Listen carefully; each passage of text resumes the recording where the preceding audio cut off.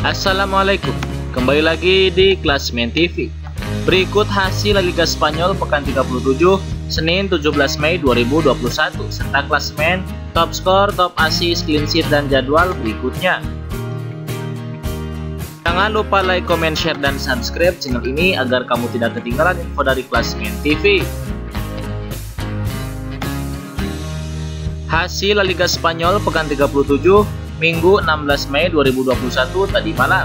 Real Sociedad menang 4-1 versus Real Valladolid. Sementara Deportivo Alaves menang 4-2 versus Granada. Athletic Bilbao kalah 0-1 versus Real Madrid. Villarreal menang 4-0 versus Sevilla. Atletico Madrid menang 2-1 versus Osasuna. Getafe menang 2-1 versus Levante.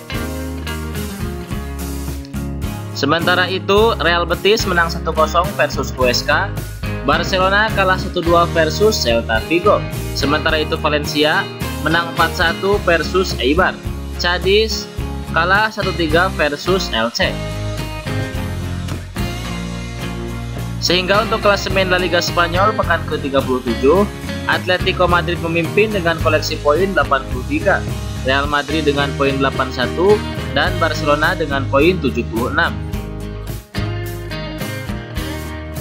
Sementara itu di zona degradasi, LC dengan poin 33, Real Valladolid dengan poin 31, dan Eibar dengan poin 30.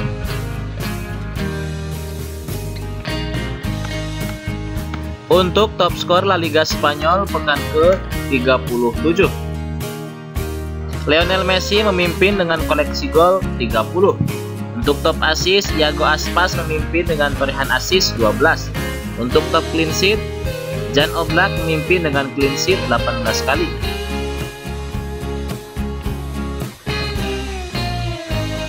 Untuk jadwal berikutnya laga terakhir pekan ke-38 Sabtu 22 Mei 2021 Levante versus Cadiz pukul 2.00 Sementara itu Huesca versus Valencia pukul 23.00 Pada jam yang sama Real Valladolid versus Atletico Madrid Real Madrid versus Villarreal, Elche versus Athletic Bilbao, Celta Vigo versus Real Betis, Osasuna versus Real Sociedad, dan Eibar versus FC Barcelona.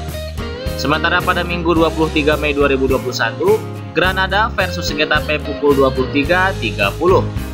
Untuk Senin 24 Mei 2021, Sevilla versus Deportivo Alaves pukul 2.00.